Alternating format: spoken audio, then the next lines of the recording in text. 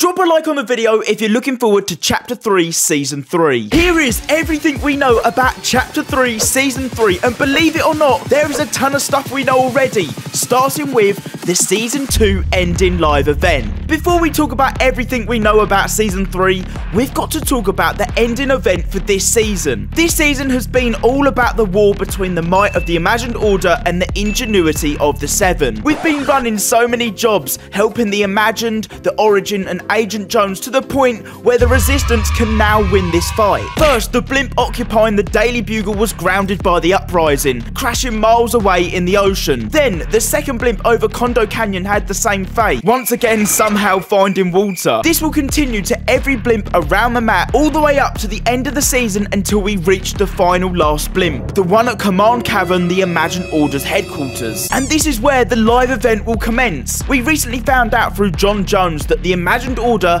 have a dedicated team to creating doomsday devices, and they currently have one in the works being built. My guess is that the Imagined Order have this doomsday division making doomsday devices for each reality that they visit that they want to destroy as quick as possible. And this will be the Imagined Order's last resort as we push them back. But we've got a plan up our sleeves. In preparation for this live event, soon we'll be planting a ton of bombs around a lot of the Imagined Order's outposts. I've got a sneaky feeling Um, that this is what the Imagined Order want. Just like how Dr. Slone was tricked into blowing up the UFO, that's what the Cube Queen wanted so she could spread all the cubes across the map and cause corruption. What if we're falling into the trap of what Dr. Slone and the Imagined Order want us to do? We're gonna have to wait and see. Now on to everything we know about Chapter 3, Season 3, and there's a lot of it. But before we do, a quick word from today's sponsor. Today's video is sponsored by Fortnite Tracker. This is an in-game real-time solution to track all your stats, whether it's per game, the last seven days, or even over your lifetime. How cool is this? You can join a match and straight away see all the live stats of your teammates, their kills, their wins, and a ton more. You can even view your match history here and see what guns you work best with. Yeah, my stats aren't looking too good. Make sure to check out Fortnite Tracker. It's simple and easy to download. Click the link in the description to download the Fortnite Tracker app for free today. Chapter 3, Season 3, and we start off with collabs. As we know, Fortnite, they're not shy with doing collabs.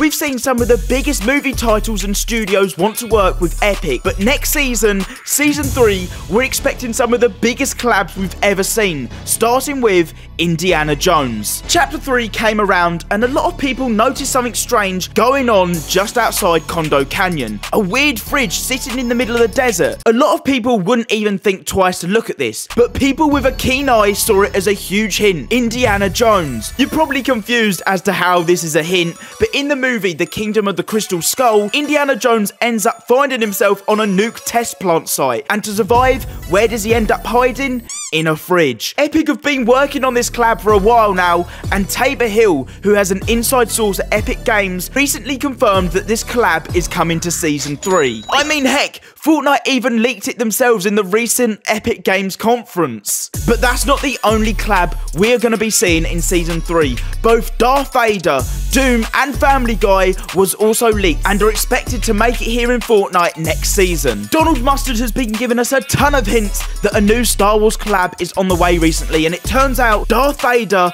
will be his own boss next season on the map, which also confirms the return of lightsabers. Fortnite have worked very closely with Star Wars in the past with a ton of skin collabs, points of interest, and even having a live event. But one thing everyone has missed is lightsabers. Recently, it's been leaked in the files that lightsabers will be returning in Fortnite, and with Darth Vader confirmed to be a boss on the map next season, they are 100% coming back. These mythical weapons were found all over the map in crates of six, and if you was lucky enough to get your hands on them, they ended up being very overpowered. Especially now with the new sprinting and mantling mechanics now in Fortnite, it's gonna be crazy. But with Darth Vader being a boss on the map next season, it's been confirmed that he's gonna have his own point of interest. Just like in Season 5 with the Mandalorian collab in Fortnite, he had his fallen ship, and then later on in the season we had the cantina located just outside Hunter's Haven. But it wasn't a dedicated Star Wars season, and neither will next season. Darth Vader will end up, like I said, having his own point of interest that he'll roam. This isn't gonna be a Star Wars themed season like Chapter 2 Season 4 was with Marvel. The expected point of interest for this collab, or where it would make sense, would be the dormant volcano and the removal of the Daily Bugle. I'm pretty sure we're all pretty surprised that the Daily Bugle is still on the map after the Spider-Man collab in Fortnite finished. It would be the perfect time for it to go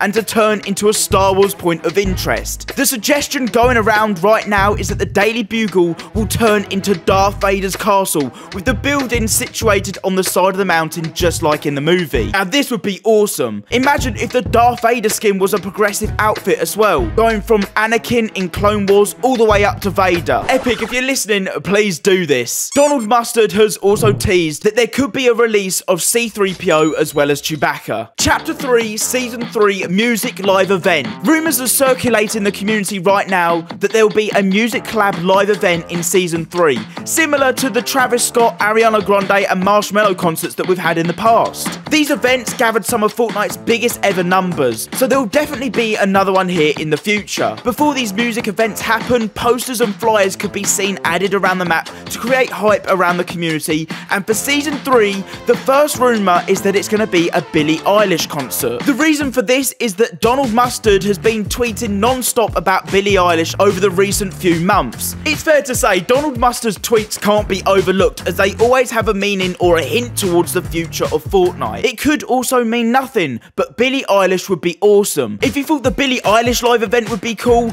then the next rumour will blow your mind. And that is a Juice WRLD concert in Season 3. This all comes after a video emerged online that Juice WRLD's manager had been in conversation with people over at Epic Games to get a Juice WRLD skin as well as a live event concert in the works. As crazy as this is, Epic Games are always trying to improve on the last previous events. People want a Juice WRLD concert that much that it even goes as far as fan-made concepts being made, like live event rewards just like this. It actually works out that we have a Fortnite music live event every five seasons, and guess what? The last Ariana Grande music live event would be five seasons ago in Season 3. What to expect in Season 3. Things like the Battle Pass and what's inside don't really change from season to season, and with Season 3 starting on June the 4th, there's a lot of time for development and changes to the map. Right now, crashed blimps are like the main change that are going on, but come Season 3, it might be a whole lot different. The end of the season is ending with an outright war, realistically with the Imagine Order winning and using their last resort plan of either the Doomsday device or the Devourer. This will